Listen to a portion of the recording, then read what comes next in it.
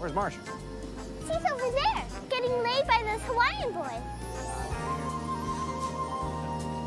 Marcia! Coming, Dad.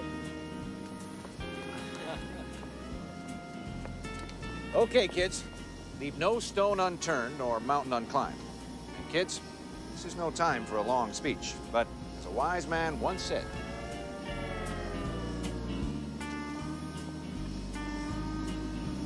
Let's go find your mother. All right. No, left no, turn around with this. Okay, Bobby. Now I want you to keep your eyes peeled. But I don't see her anywhere, Peter.